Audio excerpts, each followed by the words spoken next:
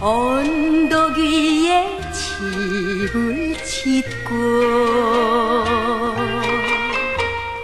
정든님과 둘이 살짝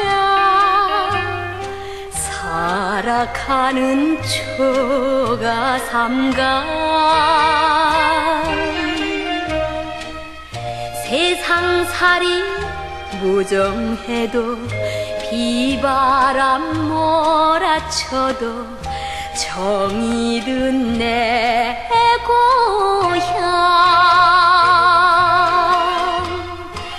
저가 삼간 노막살이 떠날 수 없네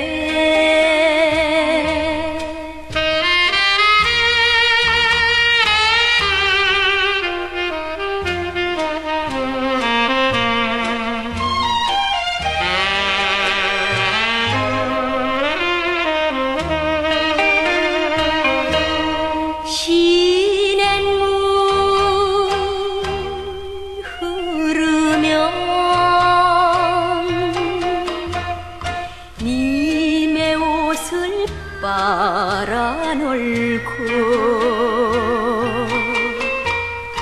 나물 캐어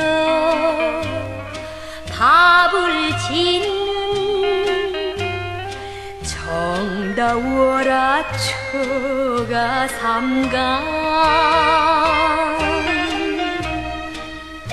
밤이 되면 오손도손 호롱불 밝혀놓고 살아온 내 고향.